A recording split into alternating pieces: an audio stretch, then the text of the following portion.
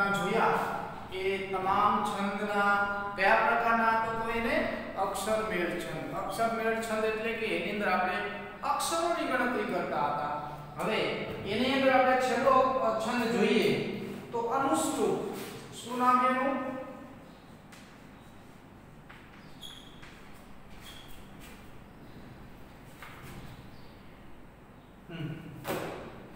અનુષ્ટુપ ખાસ યાદ રાખજો આપણે અનુષ્ટુપ છંદ છે એના આપણે આગળનો એક છંદ જો તમને યાદ હોય તો ગઈકાલે આપણે એક છંદનો અભ્યાસ કર્યો હતો એ છંદનું નામ શું હતું તો કે છેલ્લે મનહર છંદ આપણે જોયો હતો તો મનહર છંદની અંદર કેટલા અક્ષરો હતા? 31 અક્ષરો હતા. કેટલા હતા? 31 ચરણ કેટલા હતા? ચાર ચરણ હતા. એમાં પેલા ત્રણ ચરણની અંદર આઠ આઠ અક્ષરો હતા અને છેલ્લો એટલે કે ચરણ 4 ની અંદર કેટલા અક્ષર હતા? તો કે સાત અક્ષરો હતા.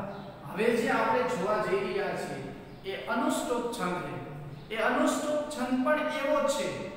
એની અંદર પણ બંધારણ નથી. એને આપણે ઓળખવું એકદમ સરળ છે તો અનુષ્ટુપ છંદની અંદર કુલ ચરણ કેટલા હશે ચાર ચરણ હશે એ પણ આપણે જોઈએ તો ચરણ 1 ચરણ 2 ચરણ 3 અને ચરણ 4 ચરણ 4 ને એની અંદર દરેક ચરણની અંદર 8 8 અક્ષરો હશે કેટલા હશે 8 8 અક્ષરો હવે આની અંદર આપણે કુલ ટોટલ મળી ગયું. કેટલા અક્ષરો થયા?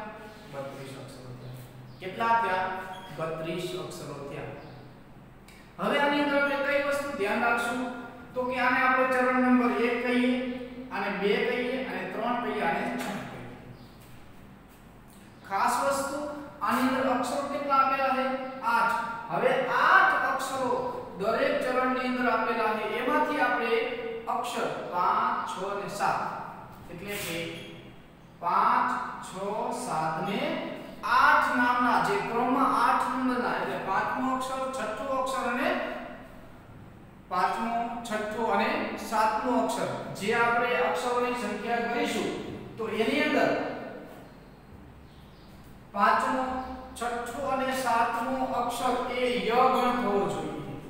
આય પણ ય ગણ થવો જોઈએ અને આય પણ ય ગણ આય 5 6 7 એટલે કે પાંચમો અક્ષર છઠ્ઠો અક્ષર અને સાતમો અક્ષર આઈ પર પાંચમો અક્ષર છઠ્ઠો અક્ષર અને સાતમો અક્ષર એ કયો ગણ થવો જોઈએ તો કે આની અંદર જ ગણ થવો જોઈએ કયો ગણ થવો જોઈએ જ ગણ થવો જોઈએ હા ફરી પાછી ચર્ચા કરી લઈએ અનુષ્ટુપ છંદની અંદર કુલ અક્ષરો કેટલા હશે કે 17 અક્ષર સોરી, એની અંદર 32 અક્ષરો હશે. 32 અક્ષરો 4 4 ચાર ચરણ હશે. એક ચરણમાં આઠ અક્ષરો હશે. એવા ચાર ચરણ હશે. પહેલા ચરણની અંદર પાંચમો, છઠ્ઠો અને સાતમો, એટલે બધા ચરણની અંદર પાંચમો, છઠ્ઠો અને સાતમો અક્ષર આપણે યાદ રાખીશું. એટલે કે આ બે ચરણની અંદર પહેલું અને ત્રીજું ચરણ નંબર 1 અને 3 એમાં પાંચમો, છઠ્ઠો અને સાતમો અક્ષર કયો ગણ બનશે? ય ગણ બનશે. કયો ગણ બનશે?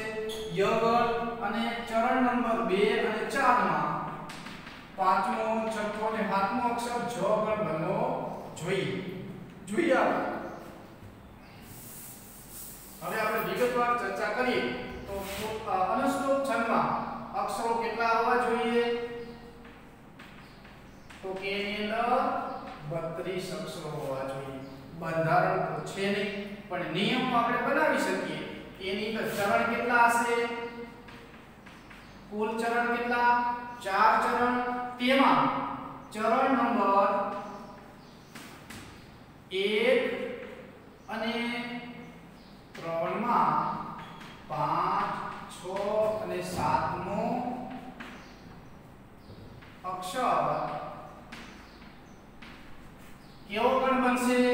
તો કે ય ગણ બનશે? બરોબર? ય ગણ બનવો જોઈએ? અને ચરળ બેકી સંખ્યા એટલે કે 2 અને 4 માં પાંચમો, છઠ્ઠો અને સાતમો અક્ષર કે અક્ષરનો કયો ગણ બનવો જોઈએ? તો કે જો ગણ બનવો જોઈએ?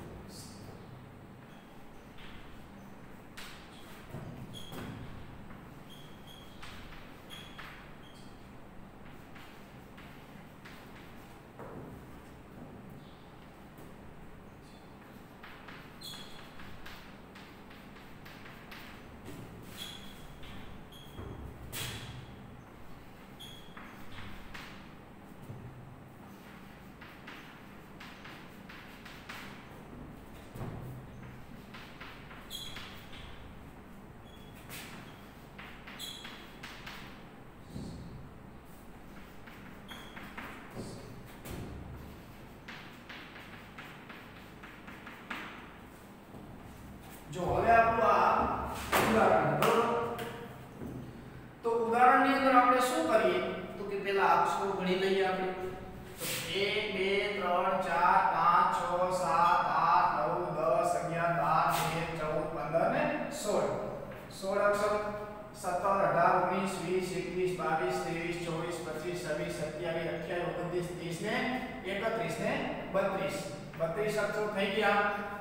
ઇન્દ્રપ્રસ્થ જનો આજે જો 1 2 3 4 5 6 7 ને 8 આઠમા અક્ષર યતિ આવ્યું એક બાબતને માટે 1 2 3 4 5 6 7 ને 8 ચરણ 4 થઈ ગયા આપણા ચરણ આ ચરણ 1 આ ચરણ 2 આ 3 અને 4 દરેક ચરણમાં કેટલા અક્ષરો તો કે આઠ અક્ષરો કમ્પ્લીટ છે હવે આપણે એને શું કરીએ?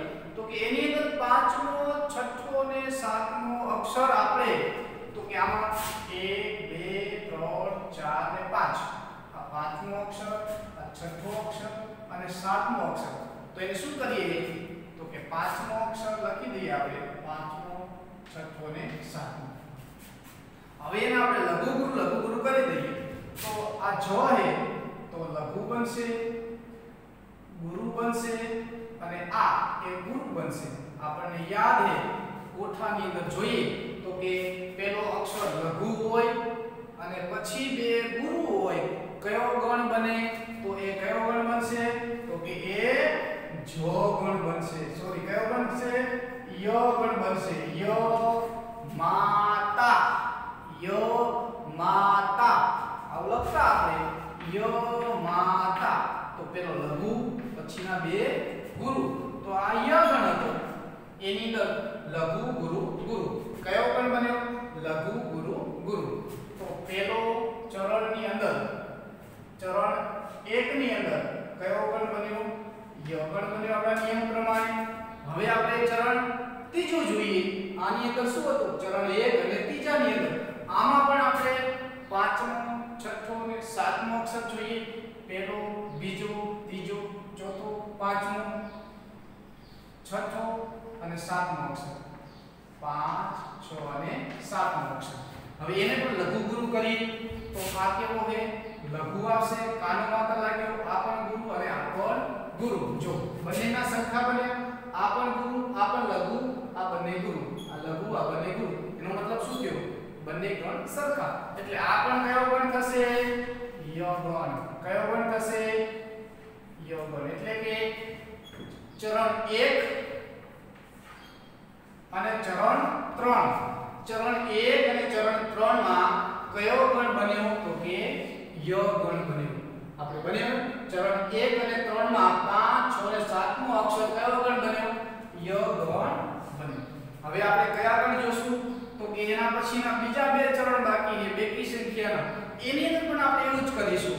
ઉદાહરણ તરીકે જોઈ લો પહેલો બીજો ત્રીજો, ચોથો, પાંચમો, છઠ્ઠો, સાતમો અને આઠમો. આઠ અક્ષરો આપણે પાંચ સુધી જોવાનું. પહેલો, બીજો, ત્રીજો, ચોથો, આ પાંચમો, આ છઠ્ઠો અને સાતમો. આટલા આપણે અક્ષરો જોવાના. હવે આની અંદર લઘુ ગુરુ કરીએ તો આ લઘુ થશે, આ ગુરુ થશે અને આ લઘુ થશે. એટલે આપણે જે કોઠું સમજાવ્યું હતું, એની અંદર લઘુ ગુરુ લઘુ. કયો ગણ બનતો તો જ ગણ બનતો તો જોજો. એની કયો ગણ બન્યો? તો કે જ ગણ બન્યો. જો આ જો ન બને, જો નીચે જોઈએ, તો આનો પણ આવો જ બનવો જોઈએ. લઘુ ગુરુ ને લઘુ. આની નીચે પણ પાંચમો, છઠ્ઠો ને સાતમો અક્ષર. એ લઘુ ગુરુ અને લઘુ અક્ષરોનો ગણ આપણો બનવો જોઈએ. ધારો કે પહેલો, બીજો, ત્રીજો, ચોથો, પાંચમો અક્ષર, આ છઠ્ઠો અક્ષર અને સાતમો અક્ષર જોઈએ આપણે, તો કે લઘુ, આ ગુરુ અને આ પણ કેવો છે? લઘુ. જો બંને ગણ સરખા આવ્યા, એનો મતલબ શું થયો? આ કયો ગણ બન્યો? જ ગણ બન્યો. એટલે એવું કહી શકીએ કે ચરણ બીજું અને ચોથા ચરણમાં. બીજું અને ચોથા ચરણની અંદર પાંચમો, છઠ્ઠો અને સાતમો અક્ષર ચોથા ચરણની અંદર પાંચમો, છઠ્ઠો અને સાતમો અક્ષર એ પણ કયો ગણ બન્યો? જો ગણ બને છે. આપણા નિયમમાં એવું હતું તો કે ચરણ પહેલાની અંદર પાંચમો, છઠ્ઠો અને સાતમો ય ગણ બને. ચરણ બીજું અને ચોથાની અંદર પાંચમો, છઠ્ઠો, સાતમો અક્ષર કયો ગણ બનવો જોઈએ? જ ગણ બને છે. તો આની અંદર પણ આપણે જો ગણ બને છે. આ હતા આપણા અક્ષર મેળ છંદ. અક્ષર મેળ છંદની અંદર આપણે વળી પાછી થોડી ચર્ચા કરી લઈએ. અક્ષર મેળ છંદની અંદર આપણે અક્ષરોની ગણતરી કરીએ. છેલ્લો અક્ષર પંક્તિની અંદર આપેલો જો બંધારણ હોય તો. બંધારણ ન હોય તો આપણે લઘુ ગુરુ કરતા નથી. બંધારણને મેચિંગ કરવા માટે, બંધારણને યોગ્ય જગ્યાએ ઉપયોગ કરવા માટે આપણે લઘુ ગુરુ લઘુ ગુરુ કરીએ છીએ. જો બંધારણ ન હોય તો લઘુ ગુરુ કરવાના નહીં. આની અંદર આપણે ધારો કે મનર છંદ છે, અનુષ્ટુપ છંદ છે, એવું બંધારણ નથી. તો આપણે અંદર ગણતરી કરી દઈએ. એમ કોઈ પણ છંદ હોય અક્ષર મેળ છંદની અંદર આપણે અક્ષરો ગણીએ. જો બંધારણ હોય, તો બંધારણના ઉદાહરણની અંદર છેલ્લો અક્ષર આપણે ફરજિયાત ગુરુ બનાવી દઈએ છીએ.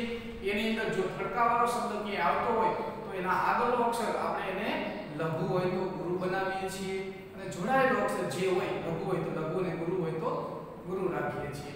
લઘુ ગુરુ લઘુ ગુરુ કરી અને આપણે ત્રણ ભાગની અંદર વિભાજન કરી અને એને કયો ગણ બને એ નીચે લખી નાખવાનું અને બંધારણ પ્રમાણે આપણા ગણ પણ મેચિંગ થવા જોઈએ. જો મેચિંગ થાય તો આપણો જન્મ સાચો. આના પછીના લેક્ચરમાં આપણે માત્રા મેળ છંદનો અભ્યાસ કરીશું. તો એનો પણ તમે ઘરે બેઠા તમારી પાસે બુક હોય તો એના નિયમો છે એનું કંઈક ઉદાહરણ હોય, એ તમે તમારી રીતે થોડી પૂર્વ તૈયારી રાખો ને, તો છંદ તમને વધારે યાદ રહેશે. ત્યાં સુધી અસ્તુ.